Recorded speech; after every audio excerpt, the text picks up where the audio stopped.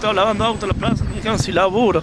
No me quieren dar solución de la vivienda, no me quieren dar nada, no sé, ya estoy cansado, ya me cansé de presentar papeles. Acá tengo la foto, mira, tengo la foto que, que vean, yo le traje acá ni por lo menos cinco minutos que para hablar con la señora gobernadora para que me den una solución, porque yo la gobernadora la conozco antes, era directora del, del hospital, le sabía lavar el auto, a todos los conozco, a todos los que son ministros, todo, ni una solución me da. Otavio Gutiérrez, mira, me tiene con vuelta, que, esto, que sí, ya te voy a tirar los materiales, ya te voy a dar esto, ya te voy a dar otro, no me da solución, yo, yo acá yo, yo le traje la foto a ella porque yo pienso que yo le estoy charlando, me estoy charlando, pues yo sé, si no me quieren dar la vivienda, que me den el laburo, que me den el laburo, que me dejan sin laburo acá, yo estaba lavando otra plaza 25 de mayo, me dejaron laburo. Ellos dicen que yo lo quiero estabilizar, que a mí me manda Barrio Nuevo, que me manda también nadie me manda. Yo quiero que me den una solución, si acá todos se conocemos. Mira, ve ahí, le tengo el rancho. ¿Sabe la impotencia que me da, loco? Que se me mojó todo, se me mojó todo adentro. El televisor, las pocas cosas que tengo, se me ha mojado, ve, mira. Ve, ahí tengo, yo tengo la foto, ve, para que vean que yo no estoy charlando nada. Y ahí tengo la foto yo de, donde estoy viviendo, ¿eh?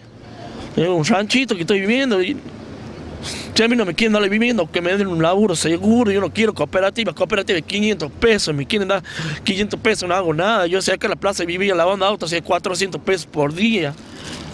No, ellos piensan que yo lo quiero estabilizar. La señora gobernadora, que la conozco, Otavio Gutiérrez, acá, acá tengo la foto de ella, yo de la, de la criatura. Y estoy cansado, esta impotencia, se me mojo todo en la vivienda. ¿Dónde estoy yo, boludo?